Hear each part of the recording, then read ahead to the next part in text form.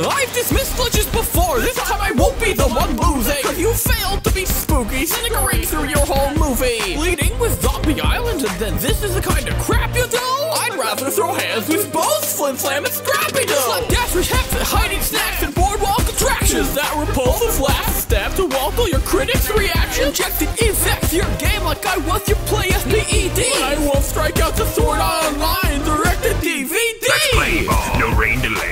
to keep it sure. You could ask cars, learn NASCARs, barely even a real sport. Brush your teeth, your candy claws that do deteriorate it. You can't handle the Ruth that I'm, babe, your baby.